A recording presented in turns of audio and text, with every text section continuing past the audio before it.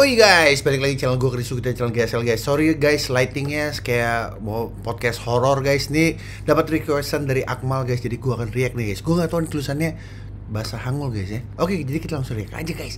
Let's go guys. Ploki plok. Oh empani guys, empani guys.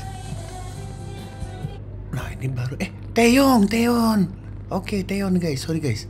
Coba guys, ini dia kayak lagi karaoke seharusnya guys ya. Jadi suaranya nggak mungkin ada edit-editan guys. Karena ini bocoran mikrofon guys. Kecuali mereka masuk ke software da secara direct itu baru bisa diedit guys ya. Kalau ini kayaknya susah guys karena ambience akan ikutkan ke ini guys, ke auto tune. Ulang, plok. Anjir suara.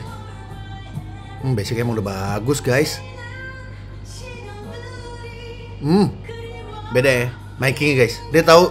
Nah, ini masalahnya gue sempet uh, rekam-rekam juga live guys ya. Itu uh, karena kebiasaan mungkin dikasih sama sound engineer kompresor, akhirnya dia tetap stabil gitu terus. Akhirnya secara uh, naturalnya dia tetap miking seperti ini guys. Tapi kalau misalkan penyanyi udah tahu proses rekaman, udah sering live, ini yang terjadi guys. Dia tahu gimana caranya membuat dynamic itu seolah kena kompres guys. Salah satunya ini adalah Teon guys, plok.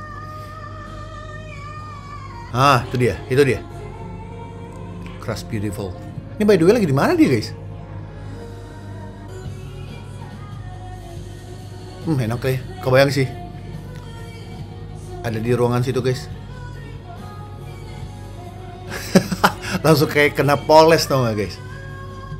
Sedap.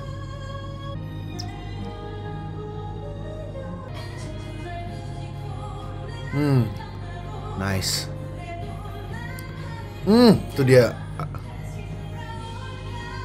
Nice. Ini ini ini pro banget guys. Maksudnya diuntungkan secara untuk editing ibaratnya nih guys ya. Ini gue bicara memang dia lagi karaoke lagi having fun. Cuma kalau misalkan bicara rekaman atau nggak live guys, itu cara kerja kompresor akhirnya soalnya kalau kompresor udah terlalu banyak kepake guys itu biasanya rasanya kayak ketekan kayak kayak dipompa guys.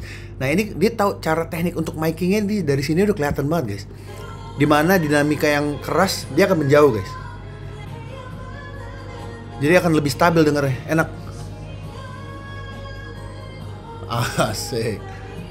Uh. Penjiwaan tetap ada, guys. Gue gak tau di karaoke apa gimana sih, guys?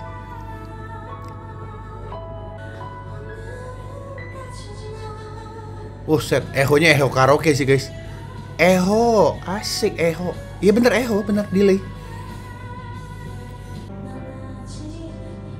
Tuh, reverb reverb sama echo-nya guys ya. Wah, mantep sih ya. Hmm, mantul. SNSD. Oh ini lagu SNSD. Lost in apa Lost in Time tadi?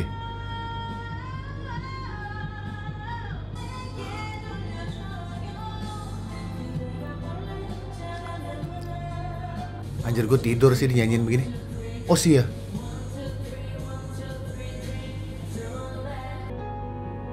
Adele. Ah coba guys. Damn. Oke. Okay. Set, dia suka Adele juga kayaknya. Oke. Okay. Moodnya dengan cara yang berbeda guys ya, dia nyanyinya guys ya. Naul, ada gue gak tau nih. Memory of the Wind. Wind. Oh. Ah dia mah juaranya guys ya lagu-lagu belak gini guys.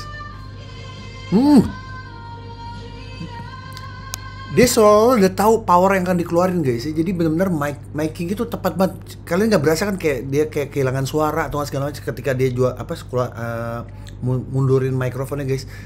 Masih terkesan stabil gitu guys. Iya nggak sih? Tapi nggak bikin pecah kuping guys ketika dia shouting gitu, setengah shouting gitu. Gue gak tau teknik vokalnya soalnya guys. Mohon mangap. Hmm, itu dia. Nice.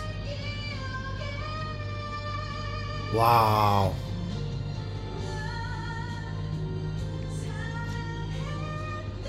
Gue maksudnya gue ini ya gue ngebahas miking sebenarnya ini juga nggak penting untuk dibahas guys karena ini bocoran dari apa uh, udah dari apa namanya speaker guys ya akan lebih real kalau ini bocoran dari langsung dari direct mikrofonnya guys ya tapi sebenarnya sama aja guys sama aja guys kan soalnya ke capture sama mikrofon eh ke capture sama mikrofon kan akan ditranslate dari speaker guys ya. Jadi otomatis secara dynamic juga kebaca.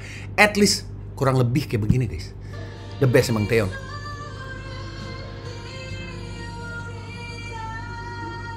wow. Bahkan dari kualitas bocoran speaker eh drop mic deh. Abis guys.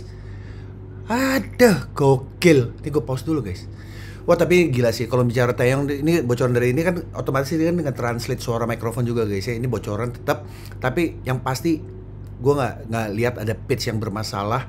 Yang kedua secara dynamic ini juga bagus banget secara miking dan segala macam walaupun ini gue nggak tahu ini karaoke apa enggak teman-teman bisa kasih komentar di kolom komentar guys. Tapi yang pasti Teon untuk suara emang gila. Oke okay, guys sekian dulu dari gue thank you for watching. Jangan lupa untuk like share dan komen di video. Jangan lupa untuk tombol subscribe channel guys. Plaki plaki